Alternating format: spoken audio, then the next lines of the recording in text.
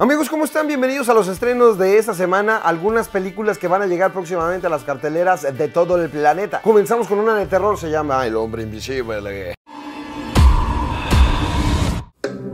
As the attorney representing Adrian's trust, I'm required to read a prepared statement The Invisible Man, así es. Es un monstruo, es un monstruo clásico. Lo hemos visto en Hotel Transilvania y lo hemos visto en muchas referencias. La Liga Extraordinaria también estuvo por ahí. Es un personaje que siempre ha estado entre nosotros y ha tenido varias versiones, pero ahora nos muestran una versión súper moderna de este personaje que tiene que ver con el acoso hacia las mujeres, que tiene que ver con una relación. Ahí les va. La película se trata justamente de eso. Hay una pareja súper tóxica y la chava eh, tiene que huir de esa relación. Se va de la casa, pero el güey se obsesiona cañón con ella y entonces la persigue, etcétera, etcétera. El punto es que por alguna circunstancia, no es spoiler, todo está en el tráiler, él muere, pero ella sigue sintiendo su presencia.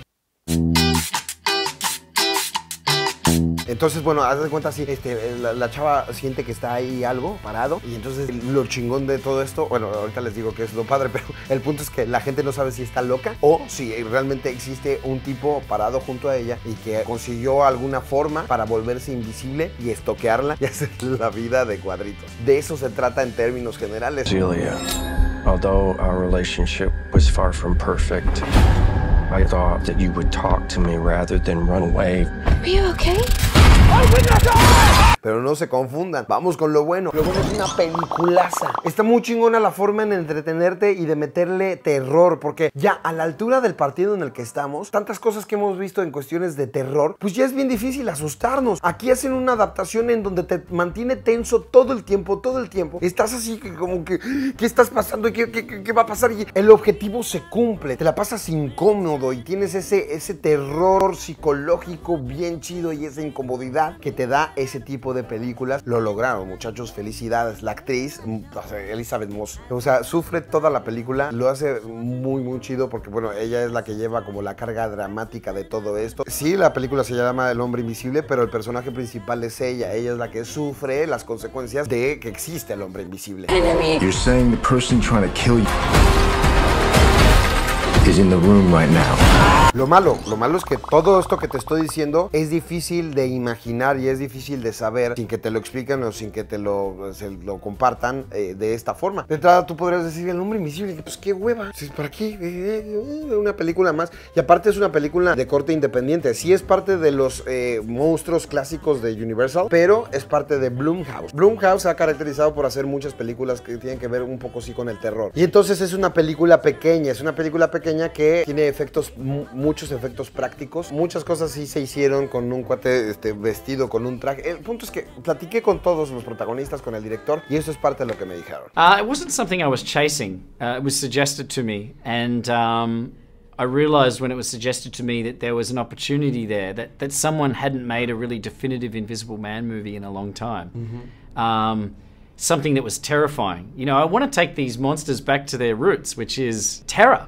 You know, when, when, when Dracula first came out, it was terrifying to people. And I think now Dracula's become such a ubiquitous part of pop culture that he's not as scary as he once, No. you know, he's, he's Hotel Transylvania, you know. Um, so what I wanted to do is strip all the strip away all that iconography of the character and just make a really truly scary Invisible Man film. Lo raro, no sabemos en qué momento de la vida vayan con el plan de revivir los monstruos clásicos. Se supone que el banderazo de salida había sido con La momia, eh, protagonizada por Tom Cruise, y que ya estaba confirmado Johnny Depp y Bardem, ¿no? Para ser parte de todo esto. Inclusive Angelina Jolie también, para ser parte de este universo de monstruos clásicos. Esta película, supongo que no estaba presupuestada, pero yo creo que sería un gran pretexto con el éxito que puede tener, que de nueva cuenta reactiven todo esto. No sabemos qué va a pasar con todos los personajes que ya existían, con Sofía Butella, con Russell Crowe siendo Jekyll y Mr. Hyde. Hay muchas cosas ahí de los monstruos clásicos que no sabemos si van a reactivar este universo de los monstruos. Monster Universe le llamaban, pero creo que sería una gran idea. Where are you? Show yourself! Come on! Do it! There you are. Así que ahí la tienen, ya se estrena eh, El Hombre Invisible. Ese es como para adolescentes y adultos, pero también quiero compartirte, como lo viste en el título, una para toda la familia, se llama Onward. La nueva película de Disney Pixar. In times of old, the world was full of wonder and magic. But times change. Se ve loquísima y lo lograron, lo lograron, lo hicieron bastante decente. Ahí les va de qué se trata. La película se trata que están en un mundo mágico, un mundo mágico donde está lleno de criaturas mitológicas. El mundo, este planeta, no está habitado por ningún humano. Todos son criaturas mitológicas que antes usaban la magia para resolver su vida. Pero a alguien se le ocurrió empezar a desarrollar la tecnología. Los celulares, las estufas, los autos, los aviones, sí, como los humanos. Y como les daba flojera dominar la magia, pues entonces decidieron por usar tecnología para resolver su vida. Entonces la magia se ha perdido un poco. La película es protagonizada por dos hermanos, dos hermanos que eh, reciben un regalo, un hechizo para traer a su padre muerto un día, 24 horas completas y que puedan convivir con él. Pero algo sale mal en el hechizo y se queda a la mitad, se queda nada más de las pompis para abajo.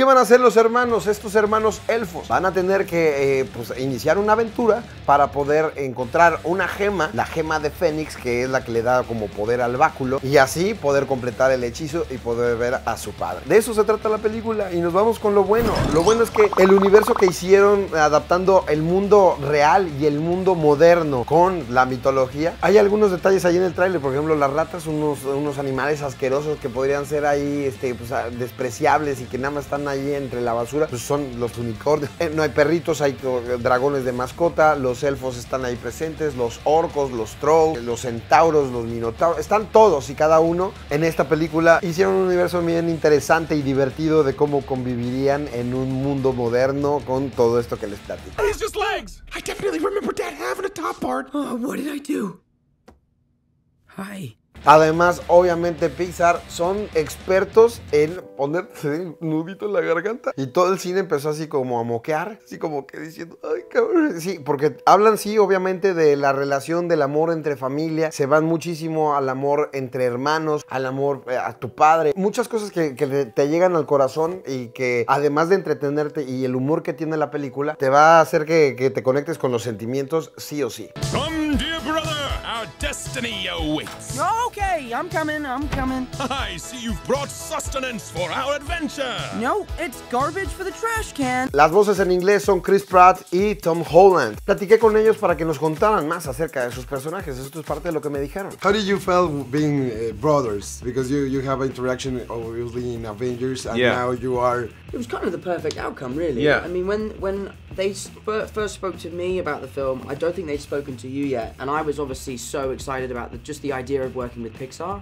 And then my excitement went like a thousand times bigger when they told me that Chris was going to play my older brother, because you feel like an older brother in real life. Yeah. And um, and it just was perfect. It was the, just the, the perfect, perfect. That's so nice. And to do together. I, I feel the same way, and, and it's funny because you are the the oldest brother, Yeah. and I am a younger brother. I'm the Oh, yeah, yeah, youngest, yeah. and he's the oldest. And so for us to play brothers in in, in in this film, but also to have like a brotherhood in real life, working together on various films, it's kind of nice because I get to be that older brother that I never got to be in my family, and same vice versa. Lo malo, las películas de Pixar eh, ya han tocado muchísimos temas y de repente eh, es difícil y puede pasar que se repitan a sí mismos. Sin embargo, eh, creo que es una película que es muy sincera consigo mismo, que no es tan pretenciosa y que te da un buen plot twist al final, un buen giro de tuerca para que te vayas con un buen sabor de boca. Sin embargo, de entrada son personajes extraños, son un par de elfos, un par de, de- de personajes azules, eh, pitufescos, que tú dirías, eh, esto no, o sea, no me llama tanto la atención. Inclusive hay algunas criaturas eh, que, que tú podrías pensar que son inventadas, que el Pixar se las sacó de la manga. No, son criaturas mitológicas. Todo esto está basado en estos mitos. De hecho, para explicarlos un poquito más, también Pae platicó con los directores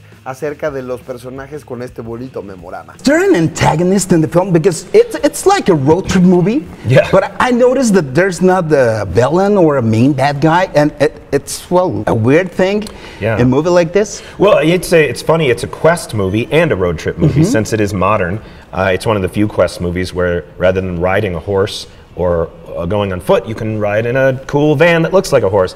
Um, I think the villain is time. The boys have 24 hours to meet their father, or the spell will run off and they'll run out and they'll never meet him. So time is definitely uh, uh, chasing after them. Lo raro, cómo establecen los personajes, ¿no? O sea, eh, dentro de la mitología que existe, ¿tú a quién pondrías como los más inteligentes? Pues allí están poniendo a los elfos un poco. Y también hay centauros, y hay cíclopes, y hay dragones, y hay... bueno, se hicieron todo un viaje sototote para poner en una cadena alimenticia, organigrama y demás. ¿Quiénes serían más inteligentes? ¿Quiénes serían más poderosos? ¿Quién- eh, Es padre, ¿no? Después de haber visto muchas cosas, eh, sí, basadas en un- universos similares como Zootopia, en donde todos los personajes son animales, pero que también tienen jerarquía. O eh, la combinación que tuvieron con Bright en Netflix de los personajes mitológicos o los personajes fantásticos combinados con el mundo real. Es la combinación de todos estos elementos para formar esta nueva película.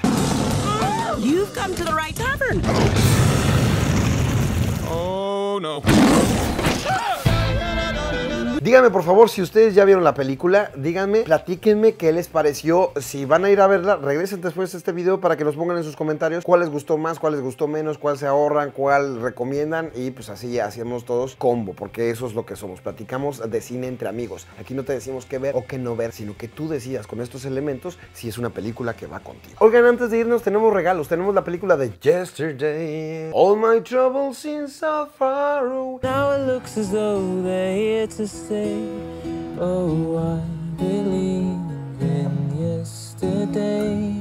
Está basada en, la música de los Beatles. Ya se los había platicado una reseña padrísima de esta película que me encantó, una de las eh, más lindas, por lo menos para mí, del año pasado. De repente pasa una cosa en el universo que todo el mundo se le borra el cassette que nunca existieron los Beatles, que nunca existieron sus canciones, menos a una persona, las tiene todas en su cabeza y empieza a cantarlas y todo el mundo piensa que es un genio y entonces empieza a sacar todos los éxitos de los Beatles que se va acordando y él se convierte en el nuevo Beatle. Así de extraña, así de complicada y de entretenida también es esta película. Tenemos varios Y DVDs para todos ustedes. Si se meten al Facebook oficial de Esto es Como, se los voy a regalar y se los voy a dar en sus manitas. Así que pónganse atentos porque la trivia sale durante los próximos días. Ahí en el Facebook oficial, abajo en la descripción, te dejo el link para que le des clic y llegues a checar la trivia y todas las eh, cosas que tenemos para ustedes porque siempre estamos sacando muchas noticias a través de las redes sociales.